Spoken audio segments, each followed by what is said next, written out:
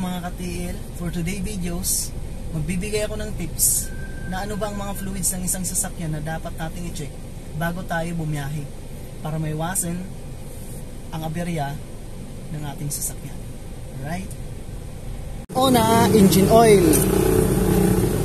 Check the level of engine oil using the dipstick.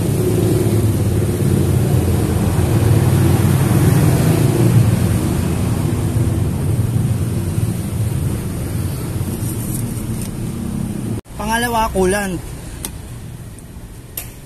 Check the level of water of coolant.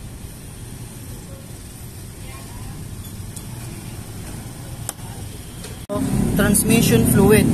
Okay? So, may mga sasakyan na may mga transmission fluid. Katulad ng mga automatic na car. So, check also the transmission fluid using the dipstick. Alright.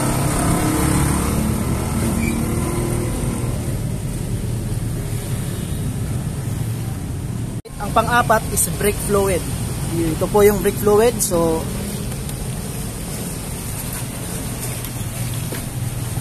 check the level of brake fluid.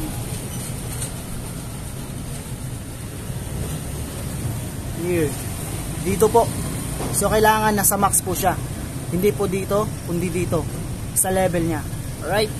Panlima po ay power steering fluid. Anim naman po ay windshield washer fluid.